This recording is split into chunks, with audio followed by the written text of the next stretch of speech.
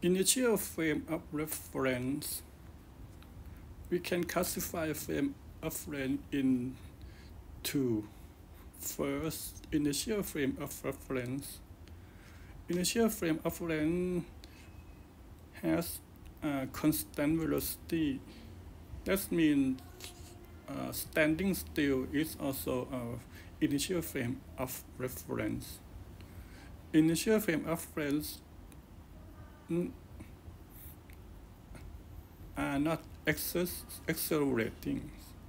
Also, Newton law hold true in inertial frame of reference. And there is another, it's called non-inertial frame of reference.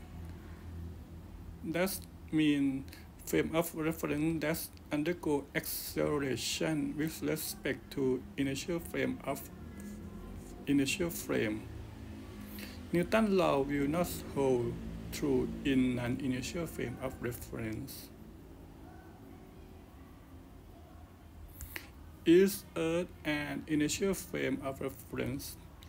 Technically, no, because Earth is rotating itself and it has a frictional force.